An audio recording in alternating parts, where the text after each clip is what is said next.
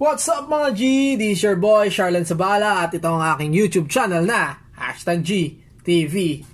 So, noong mga nakarang araw, meron ako nakita sa uh, Facebook, sa RWM Trail Makers page. Meron silang survey doon na tinatanong, ano ang top 3 na namimiss mo sa RWM? So, dahil naging part ako ng RWM for almost or more than 6 years akong nag-serve sa RWM, marami akong mga iba't ibang namimiss at marami akong mga naging experience dyan. So, eto, wala naman tong ano, comment lang at wala naman tong hate dahil uh, for enjoyment lang. Ang top 1 ko ay namimiss ko ang pagiging late. Yan. Hanep, tol. Heavy. Kasi, hindi naman ako laging late, pero minsan saktuhan yung dating ko or saktuhan yung alis ko sa apartment kasi nag uh, ano lang ako apartment lang ako sa Villamor. So Syempre, pag mas malapit ang tirahan mo sa workplace mo, hindi ka ano, uh, papasok na maaga. Kailangan saktuhan lang yung lakad mo. Eh minsan, walang tricycle or kailangan maglakad.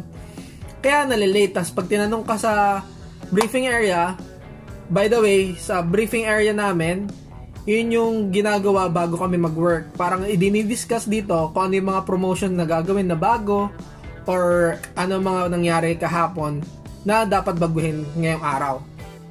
Hanep to. So, sa pagiging, mabalik tayo sa pagiging late, may tatlong klase yan. Ang una is yung buzzer beater, which means, or parang ako yon ako yung mga saktuhan yung datingan, yung pagpasok is alas 7 or alas 3, alas 3 ang top ko or alas 7 ang top ko. Even 59 seconds, sakto yan. Then, yung pangalawa naman is yung mga medyo 5 to 15 minutes na late. Yung papasok sa briefing area ng medyo kunwari galit-galitan or medyo hassle or pagod na pagod ka kamadali kunwari.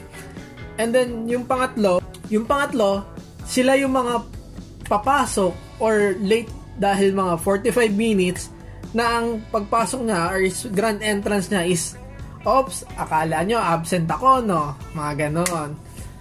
So, wala lang, na-share ko lang dahil yun yung mga nakakamiss. And then yung heavy. Pangalawang namimiss ko sa RWM is yung pag-overbreak. Hanep, tol! Yung pagiging overbreak yan, marami marami makaka-relate niyan sa overbreak. Sa lahat naman tingin ko ng kumpanya may mga ano, nag-overbreak talaga.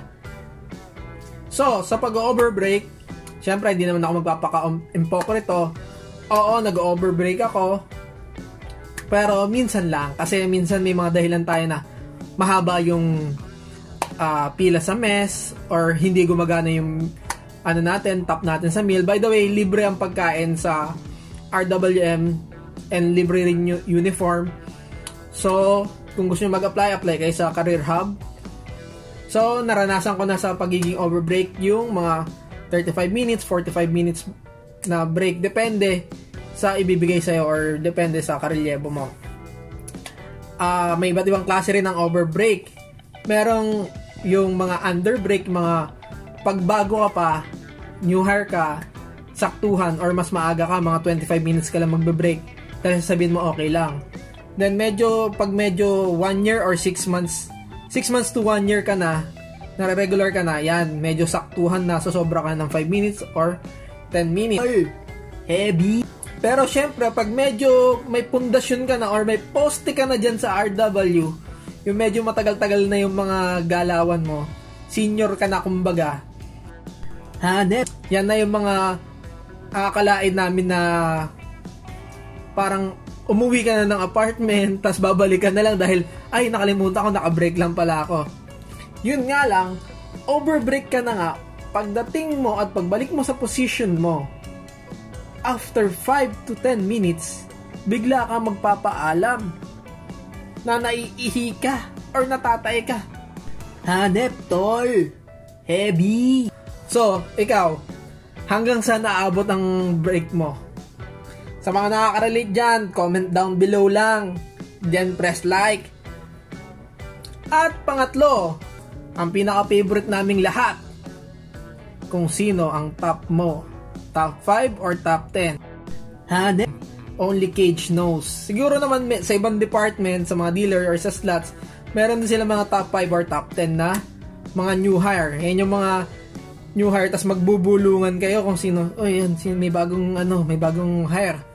Anong rate? 1 to 10? Or sino mga top mo? Yan yung mga tinatanong sa mga new hire kung sino yung mga top 5 na gwapo, top 10 na maganda, maganyan. Tol, heavy. So, ikaw ngayon, pasok ka ba sa top 5 or sa top 10? Sino-sino mga top 5 or top 10 nyo na new hire? So, yung mga nakaka-relate dyan, or mga sa mga dati kong mga katrabaho or dyan sa mga taga RW, ano nga ba ang top 3 nyo at namimiss nyo sa RWM? So, shout out sa Gaming Treasury, Thank you sa inyo. Thank you kay Ma'am Ann, kay Ma'am Kwaki, sa ibang mga managers na hindi ko masabi pa. Dahil, uh, kung di dahil sa inyo, hindi ako mag-grow ng ganito, hindi ako magiging mature. And, kung hindi nyo ako tinanggap sa RW, uh, ah, wala ako ngayon kung nasan ako ngayon. And, syempre, uh, dyan sa RW naman, nakaipon din ako dahil medyo malaki-laki rin naman yung sahod. Ikom, uh, sa next vlog ko, i-compare ko yung sahod ko sa RWM at saka dito. So, so dito ko natatapusin. Uh, thank you, thank you sa RWM. Ah, uh, ako nga pala, shout out kay Symbiosis and then kay Baby Sheila. Thank you sa pagsusubscribe. And then, dito ko natatapusin talaga. Please like, share, comment, and subscribe. Then, click mo na rin yung notification bell. Hashtag G. Bye!